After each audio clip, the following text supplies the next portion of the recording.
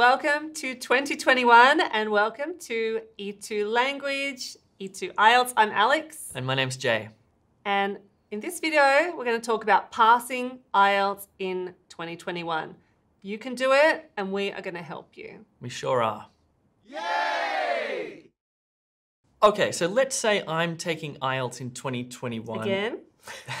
Again. And let's say I might be taking it next week, or I'm taking it in three months, or six months, or I'm thinking like even a year away. Mm, that's good. What should I do, Alex? Well, you've got to set some goals. So, the first thing that you should do is download our 2021 goal setter in the description below. We're going to use that, you're going to use that to set your goals and achieve them. Good.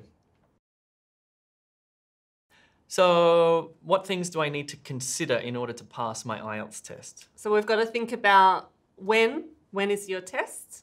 Yeah. What scores do you need? Where are you going? Mm-hmm. What are your scores or what's your level now? Right. Where are you? Yeah. Right. Uh, and then you've got to set some more micro goals as well. What are you going to do every day to improve your reading, to improve your listening? What if I just leave it until the day before the test before I prepare? I'll pretend you didn't say that. Don't do that, Don't do please. It's plenty of time. There are plenty of resources. We can do it. Yeah. All right, so in this video, we're gonna take you through all four parts of the test. And for each part of the test, we're gonna give you two critical tips, okay? So stick around and watch this. Now, why do I actually wanna pass an IELTS test? Yeah, I think that's the biggest thing to keep in mind in your preparation because Hmm. it can be tough, Yeah, mentally tough, physically tough. yeah. Yeah. You got to keep in mind what's at the end. Why are you taking the test? What's your goal? And how is life going to change when you open those results and you've got your score? Hang on to that through your test Yeah. preparation. That is going to keep you alive. that's what it's all about. Where are we going? Okay, let's get started. Writing. Tip number one is get to know all the possible IELTS task types.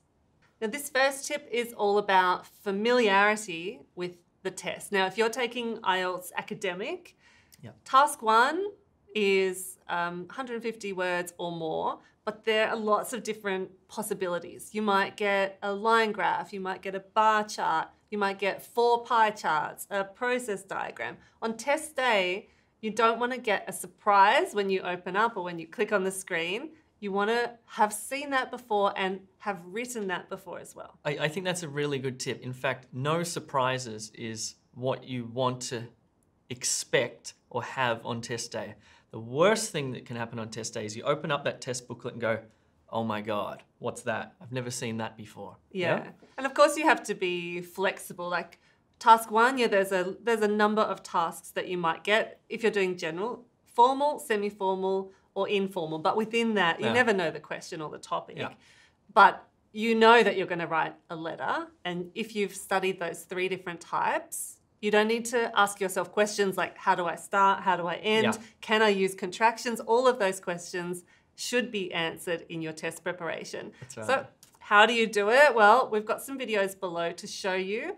But of course, the best place is on our learning platform on e2language.com. Yeah, so one of the things that we do at e2language.com is we have live classes that happen every day, twice a day with expert teachers, and there will be no surprises if you prepare with us on your test day, mm-hmm. okay? And on the self study section, all the different task types are there mixed charts, processes, maps, all of I, that. I remember I took, because I've taken the IELTS five times, one of them I took it and were, I did academic, writing task one, and there were three line graphs with two lines each in the line graphs, and I was like, what? yeah. And I didn't prepare for that, and um, we won't mention my score, but good lesson. that was then. That's right. This is Not 2021. 2021. okay, so tip number one get to know all the task types. Writing tip number two in task two, answer the question. All right, this might seem obvious that when you get your essay question that you actually read it carefully and answer the question, but you'd be surprised people don't. What people tend to do is they have some memorized essay in their head that they're just going to sort of write on test day. And it's not going to hit the first criterion, which is Task response. task response means that you actually answer the question fully. Mm-hmm. So on test day, you really need to spend a little bit of time clearing your mind, reading the question, making sure you've understood all of it, and your essay needs to address every single part of that question, okay? Mm-hmm. Let's have a look at an example, shall we? So, this is a question from the Cambridge Book 13. We'll just read it quickly. It says Living in a country where you have to speak a foreign language can cause serious social problems as well as practical problems. To what extent do you agree or disagree with this statement? Okay, so some important features of this question serious social problems. Can you think of an example? Um, okay, so miscommunications while shopping. Mm-hmm. Yeah. Yeah or miscommunica- miscommunications in a healthcare setting or yeah. these are more specific examples but Yeah, making friends at university, something like that. That's Yep. a serious social problem. Practical problems, maybe you're having trouble booking a room in a hotel or buying a ticket Yep. on a train. These are the kind of things the examiner wants to see you write about. And the most important thing is this to what extent do you agree or disagree? cool so a, a big problem that could happen with this essay question is that someone just writes about the social problems and maybe they write about how mm, I don't know, maybe they just don't get into that in detail. They neglect the practical problems. Um, instead of to what extent do they agree or disagree, they talk about the disadvantages, for example. This is no, no, no, no, no. You read that, you read it all, you understand it all, and your essay must include all of it. Yeah, Yeah? Answer the question. Answer the question. Check out the links below. There's a great podcast that you did Yes. about this, and check out some of our sample essays as well. Yeah, actually, in that podcast, it's really good. Um, I spoke to two people from IDP, which is a co owner of the IELTS test. And these two guys were experts or are experts uh, in IELTS and specifically in IELTS writing. And we spoke to them, I spoke to them about all different aspects of IELTS writing, how to maximize your score. And one of the guys actually said that the major problem that all anyone who struggles, the major problem is that they don't answer the question properly or fully. So there you go. Do you think we've made our point? Made the point. okay. To achieve your writing goals, what are you going to do each day and each week until your test? Write them down on your 2021 goal sheet. It might be something like rewrite a task one and a task two each day, covering all the different task types, or attending a live class or watching a live class on E2, writing a paragraph perhaps if you're just getting started, and maybe each week you might want to do a practice test. Make your own goals something that you can achieve. Yeah, I think these are these are great goals. Um, with that weekly one of writing a full practice test, one of the things that you want to do is build up endurance because on test day you are sitting there for like three hours, Yeah, right? yeah, Yeah, and if you're doing the writing section last or first, it doesn't matter. You need to build up your endurance. So, mm-hmm. and especially if you're taking the paper-based test with a pencil and you're writing these essays, like you actually need to build up muscular Yeah. strength too. yeah, it's painful. It, it, it gets painful. Yeah. Mm. Reading. Okay, so in order to improve your reading score, you should do practice tests. That's a good idea. But there's much more to it than that. You can, of course, find practice tests on the internet, there's heaps floating around. Just make sure they're good quality ones. The Cambridge ones, of course, are very good, and the E2 language ones are also very good. Just be careful of poor quality tests because they won't be helpful. But that's not a tip, is it? No. okay, so imagine you're doing these practice tests and you're aiming for, say, 6.5 and you get 5.5 on the first one. Mm, And then you do another one, you get 5.5, and again, you get 5.5. How do you actually increase your reading score? Because if you're just doing practice test after practice test, it's not actually going to help you. You're still stuck at that particular level. So let's take a look at a couple of tips to help your reading score. Reading tip one grow your vocabulary. There is a really strong correlation between how many words you know and your reading score, basically, or how much you can comprehend when you're reading. So it's a very simple equation that the more vocab you know, Yeah. the higher your band score is going to be. And it may seem daunting or overwhelming to think, okay, I'm 5.5, I need to go up to 6.5. How many words do I need to know?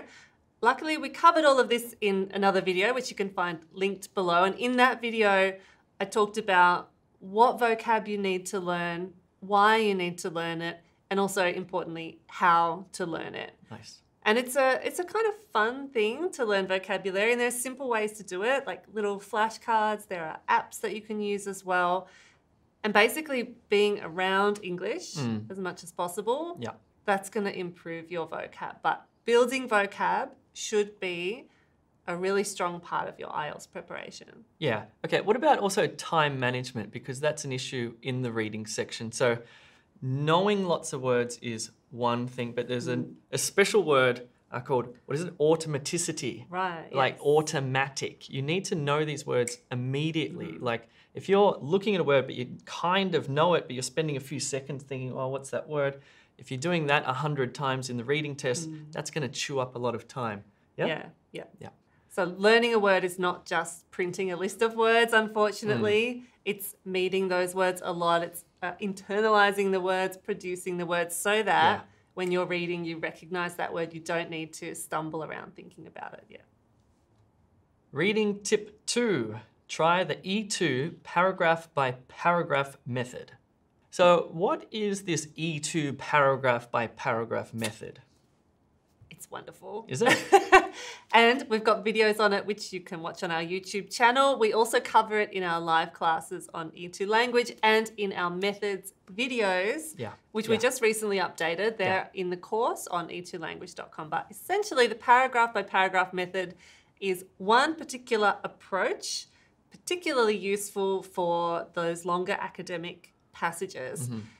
I won't go into it here because you'll see the videos linked below if you're interested. But I guess the broader point here is to try a couple of methods. If you are struggling and if you are stuck on 5.5, 5.5, and you're building your vocab but not making progress, Yeah. maybe you need to adjust your strategy because one way doesn't suit everybody. Yeah. There's a good expression for that. I can't think what it is. One way doesn't There's suit different ways to skin a cat. Yeah, something like that. I don't like that one though. Yeah, that's awful. okay, but you know, a lot of books, a lot of teachers will say you must skim the passage first. And personally, Yeah. I actually don't find that all that helpful. So I use a different method most of the time Yeah. because I've tried a few, and you should do the same. Don't use paragraph by paragraph because I said to. Try it. If it works for you, Yeah.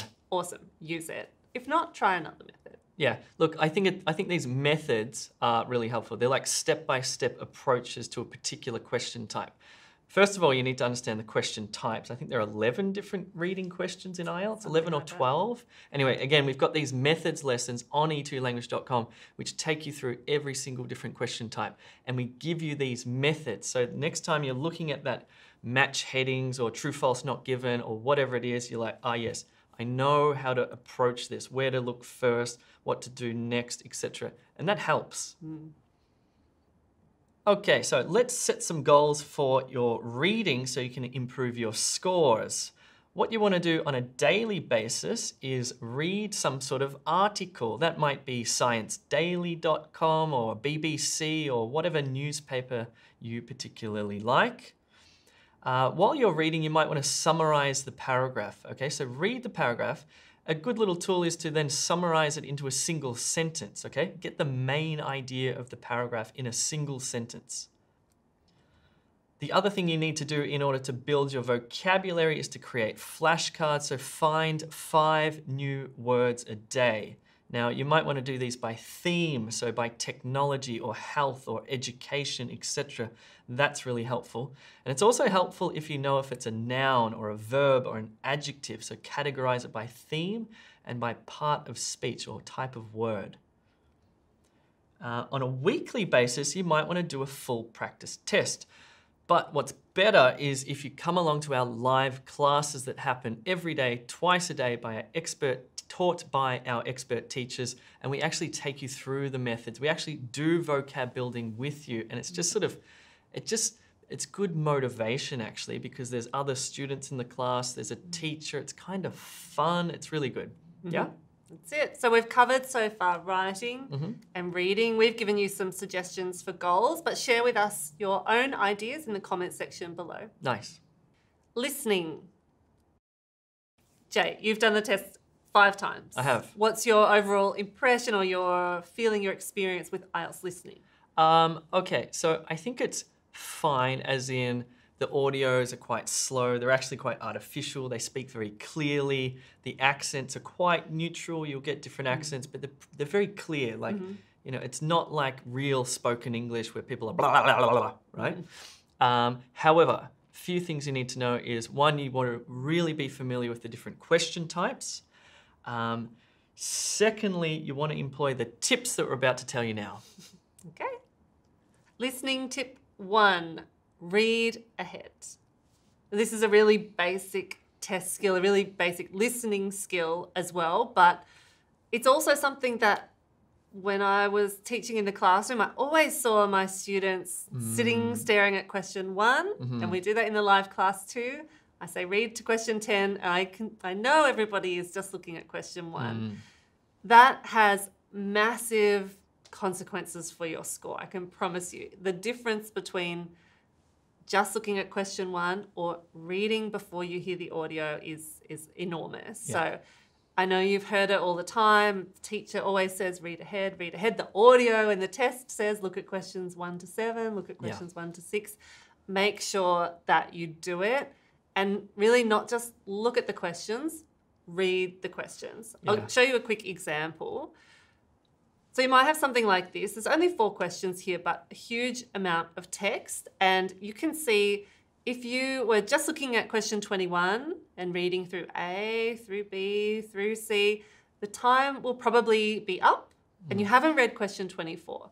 So an example of read ahead, that philosophy for multiple choice is just ignore A, B, C. But you've got to read those questions 21, 22, 23, 24, the stem of the question. Yeah. And this same tip also applies when it comes to um, the breaks in the listening test. Remember, when, there's lots of spare time, Yes. let's call it, in the listening. There's 30 seconds here, a minute there. Yeah. And the instructions sometimes tell you um, now check questions, like questions that you did previously. Yeah. And you should not do No, that. I agree. You should go forward. Whatever Go you've forward. done, if you've missed something, Yeah. just say goodbye and move forward. So Yeah. always keep your eyes and your mind ahead. Yeah, look, it's it's I should say it's kind. Look, I think the listening test goes for about thirteen minutes or something. Like it's about 30. oh, is it thirty? Yeah.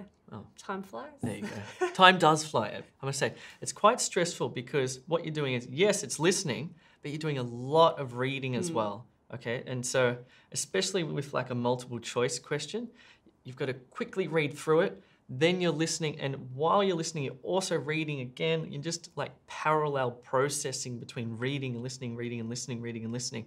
Or if you're looking at the map, you're looking at the map and listening, looking at the map, listening, you know, etc. Mm-hmm. So it's it's full on actually. Mm-hmm. Yeah. Yeah. And you don't want when you hear it, you should have already already read it before. That will make life much easier. Yeah. Read ahead. Listening tip two listen to more English.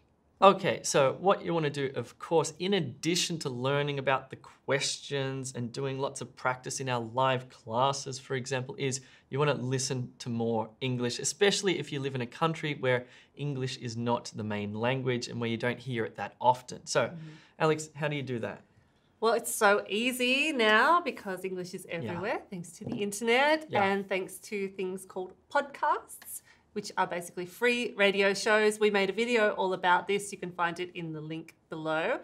And that video explains how to use podcasts to increase your vocabulary on the one hand, Yeah. also to increase your um, breadth, your ideas, the number of Ah, ideas nice. that you know, and, and also to get familiar with um, spoken English, like real spoken English, which Yeah. is very different to written English, of course. And as Jay said, Yeah. the IELTS listening test, as you'll see in that video, comparing IELTS listening to real English, you'll Yeah. notice IELTS listening is much, much slower. So the more that you can listen to real English, real people Mm. speaking really quickly, IELTS listening will become Yeah. a piece of cake, A breeze. a breeze. yeah. Let's write some goals to increase our score in IELTS listening. Here are some ideas. Every day you could watch a TV show, any TV show, doesn't matter. You could listen to a podcast, or you could do five practice activities on E2 language. Every week, challenge yourself to do something like listen to a podcast and read the transcript. If you're enjoying watching this video and you think we are wonderful teachers, which is true, you should click the subscribe button because we release videos nearly every week, every week, and they are very helpful. But if you really want to practice your IELTS properly, check out e2language.com because only some of the stuff we do is on YouTube. All of it is on e2language.com and it's way more fun there. Okay, so let's talk about speaking. Now, Alex, you were an IELTS speaking examiner for how long? 10 years. 10 years. How many candidates do you think you saw in 10 years? Uh, a lot. Thousands? maybe, maybe thousands. Yeah, a lot. Wow. So you must have seen a lot of good performances and a lot of bad performances, right? Yes, yes. Have you got a few tips a for us? I've got two great tips for you. Excellent. Speaking tip one speak English a lot. This is another obvious one, right? I'm doing a speaking test. I should practice speaking. Mm. yeah. But again, it's something that may seem more difficult than it is. Perhaps you live alone, perhaps you don't live in an English speaking country, you may not have friends who speak English. You can find them online. There are a lot of people Mm. who want to practice on our like Facebook group. People are often looking for study buddies, which is great. The key is though, set it up and commit to it. Yeah. So say, all right, twice a week, this time, you know, make a little Zoom session with the person. Yeah. Alternatively, come and see one of the teachers at E2 Language, join a small group class, Yeah. something like that. Yeah. Or you can just talk to yourself. You can talk to your plant, you can talk to the mirror, you can record yourself. Just be That- nice to yourself, though. yeah, yeah. Say nice things to yourself, and you can practice speaking about IELTS questions. We have um, a video which is below with twenty speaking topics, lots of questions under twenty speaking topics. Use them, or at the end of the day, you can just sit on the couch, talk to your plant, Yeah. and tell the plant, "What did you do today? How did you feel? What did you see? What did you read?" R- reading aloud is also good, I think. Yeah, Yeah. yeah. I think yeah, that's something. I mean, it, it doesn't okay. doesn't make it spontaneous, which is a big part of it, but it can help with, with just that flow, especially if you're reading aloud, like listening to say a TED talk with a Mm. transcript, and say there's a nice native English speaker's voice that you like. So you're sort of mimicking them and making sure that your pronunciation is matching their pronunciation. You really have to pay close attention with your ears to make sure that you what you're saying or how you're saying it matches what they're saying. Yeah. That can be helpful. And the reason why this is so important is because when you sit down in the speaking exam, the examiner knows immediately if you haven't been speaking English much. It hmm. when they when you say your name, I can tell. Yeah. that you haven't spoken English today, for example. So you want that language to just be available Yeah. and to come out really easily rather than every word that you hear and say Yeah. being a struggle because that is going to affect your score. You really want that flow. So even though it might be uncomfortable, at least for you know a week before your test, try to shut off from your own language mm-hmm. and just speak English. Yep, you won't lose your own language. Speaking tip two practice with the criteria. Okay, so if you're an IELTS examiner or ex IELTS examiner like Alex, you aren't just giving a score willy nilly. What you're doing is actually looking at a sort of checklist or what's called the criteria, and then you're listening to the candidate and you're assessing the candidate according to that checklist or that criteria. And it's quite complicated. Let's take a look. Okay, so this is what it kind of looks like, and there's these things called band descriptors like fluency and coherence, lexical resource or vocabulary, grammatical range, and accuracy, as well as pronunciation. And you can see that there are also numbers 9, 8, 7, 6, 5, 4, 3, 2, 1, 0. Let's simplify this a little bit. If we look at this one here, fluency and coherence means you speak without effort, you use a range of connective words, discourse markers, you develop your sentences or your topics fully. Lexical resource is vocabulary. That means you use the vocab precisely and flexibly. You use some less common or idiomatic vocab, and you use paraphrasing. Grammatical range and accuracy means you use a range of structures, lots of different structures, and you produce them error free. Those sentences are error free. Lastly, you have pronunciation, which includes intonation, emphasis and stress, connected speech, and clear pronunciation. Oh my God, speaking is very complicated. These are all the different parts or elements of a good performance. So, mm-hmm. Alex, what do I do as a candidate? Should I just be should I get that a tattoo maybe? I'll get a tattoo of the criteria on my arm. Yes, That's a good idea. Yes, that is the best idea. That's idea. That's my tip for the day. There is a lot to think about, definitely, and and the examiner is thinking about all of those things as you speak. On test day, you shouldn't really be thinking about that stuff at all. If you've prepared yeah. well, on test day you are just there with your confidence and your flow of English. But our tip was to practice with the criteria before your test, yeah. like from now. Give some attention and some uh, time to each individual criterion. Yeah. So let's say today we're going to do a speaking test with you or with my plant. Mm-hmm. I've got my um, test on my phone or printed out, and I'm going to do it by only I'm only going to focus on one aspect of the criteria. Mm. So today I might be just thinking about grammar Mm-hmm. Okay, so I'm just thinking, what are some of the grammatical structures I can use? Maybe make a list, mm-hmm. or you can find one online. Like I'm going to use five different tenses. I'm going to use a conditional. I'm going to make some complex sentences. Yep. Uh, I'm going to use gerunds. Uh, modal I'm verbs. I'm going to use modals. So have a list of things. And then as I do my speaking test, I'm sort of checking off that I've used them all or recording myself.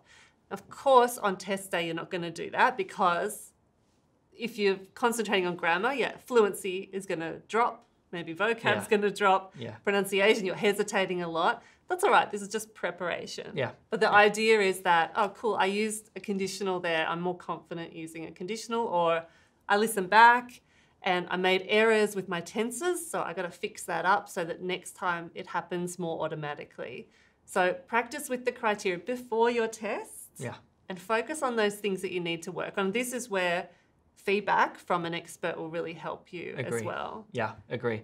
Agree. Your feedback's critical. Um, one of the things we offer on E2 Language are tutorials, one-on-one 45-minute tutorials with experts where you'll actually do uh, speaking practice tests with them. We also have the mock test, which includes mm-hmm. a one-on-one speaking mock test done on the computer via Zoom. Mm-hmm. Um, and that one's great because you yeah. get like really detailed feedback on the checklist and even more detailed than that from the teacher yeah. to show you what you're doing well and where you need to improve a bit more too. Yeah, yeah, yeah, yeah. Yeah, so the, the criteria is, is critical. That is really what you're scored on. It's not just plucked from thin air by the examiner. This is what it's all about. And it's also the same for writing, by the way. Writing also has a set of criteria, mm-hmm. and you should really be understanding how that all works. Now, you can go about doing this by yourself, of course. If you're a linguist or a philosopher, that might be fine. But if you're an average Joe who just wants to pass the test, let us do the heavy lifting in our live classes. I think that's the best idea. Let's set some goals for speaking. Okay, so here are some possible speaking goals for you on a daily basis, you might just want to spend like 10 minutes a day where you speak for four minutes on a topic, then three minutes on the same topic, then two minutes on the same topic. This will help you to become much more coherent and precise. Of course, one of the IELTS speaking tasks is a two minute monologue, so that's good practice. Uh, you should do a speaking test with a grammar checklist. So, as Alex mentioned before, you might want to have a list of different uh, a range of grammar that you can include while you're speaking. Okay, so you want to also set yourself a weekly goal that you speak English for 30 minutes every day. And there you have it. That is our top tips to get you started on your IELTS preparation for 2021. You can find all the links that we talked about below. Make sure that you subscribe so you are the first to know when we release a new video or when we're teaching live. For more help, more personal help, join us on e2language.com. Finally, make sure you share your goals with us in the comments below. and let's conquer IELTS. Yeah, let's do it. Happy New Year.